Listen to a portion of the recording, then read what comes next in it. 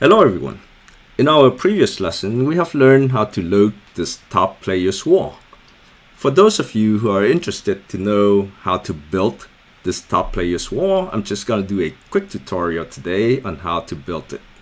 So to build the wall, I start out with a pretty large rectangular part. I call it top player's wall. I make the uh, brick color black and the material is brick. And then you can go to that top player's wall, click on plus sign, and you're gonna add a surface GUI.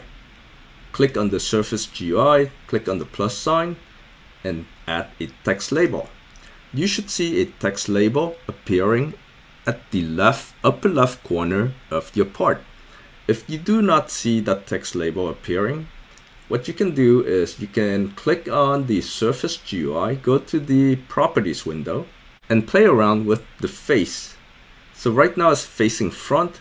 If you don't see your label, maybe you want to change it to facing the back or facing the bottom or facing the left. You can try them all until you see the text label.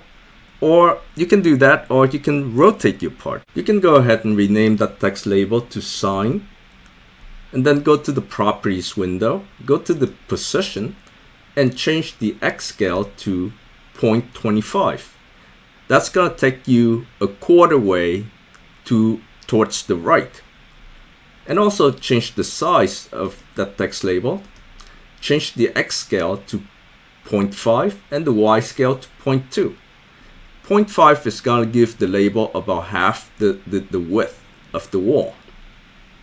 And 0.2 is going to give the label about a fifth of the, uh, the height of the, the wall. And then you want to scroll down and check the box that says rich text and the box that, say, that, that says text scale.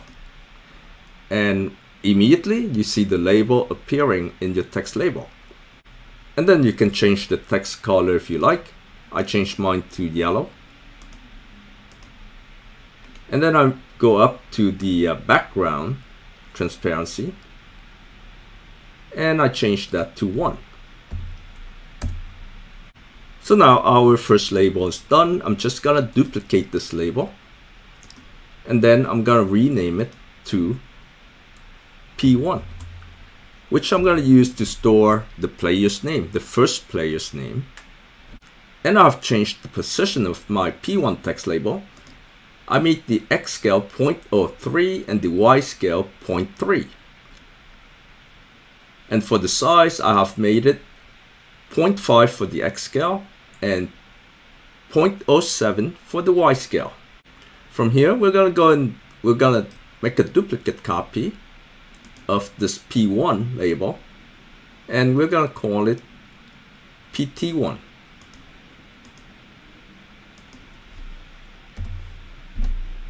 For my PT1 label, I've changed the position X scale to 0.7 and the Y scale to 0.3. As for the size, I have changed the X scale to 0.2 and the Y scale to 0.07. And now I'm gonna go back to my P1 label. I'm gonna make a duplicate copy of that. And I'll call it P2.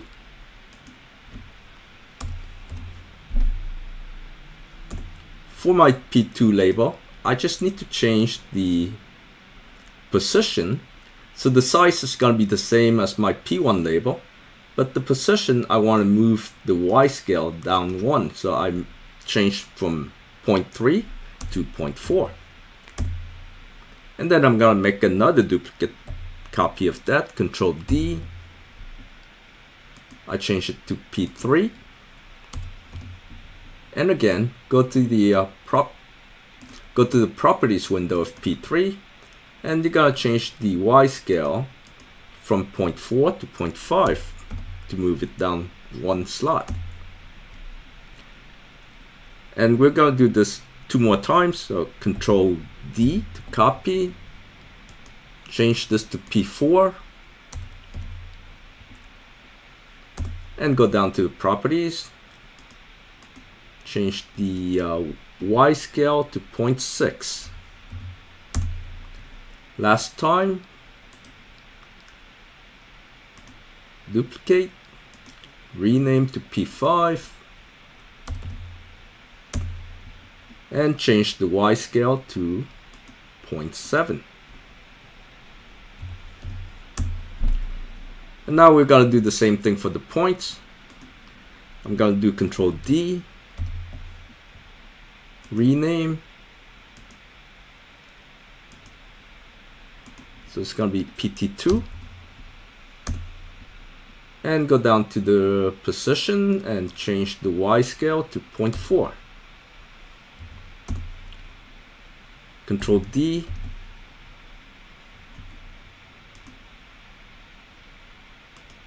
Whoop, let me rename it first pt3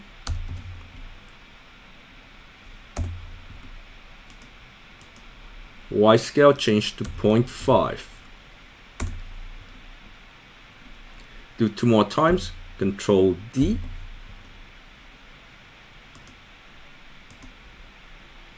PT4.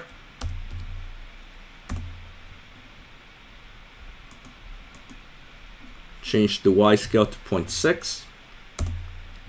And last time, Control D.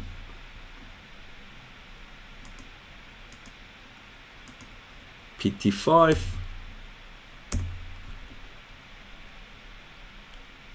and change the Y scale to 0.7. Alright, so there you have it. That's our top players wall. And, and then you can just go and change this label here, the sign label, to uh, whatever you want to call it. I call it top players.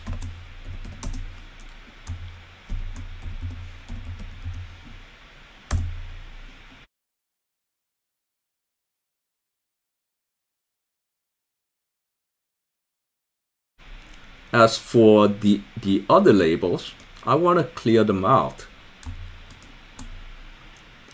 So I'm selecting all the players, player 1, 2, 3, 4, 5, all the players' names. I'm going to clear that out.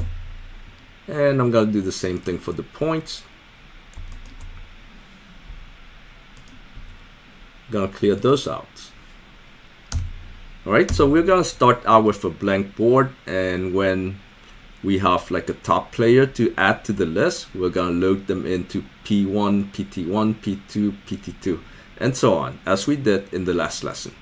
And also we previously we had an, we had another lesson on text labels where we load the text labels onto the screen GUI. So for more information on how to add text labels, you can refer back to that lesson for more detailed information. Alright everyone, thank you for watching and we'll see you in the next tutorial.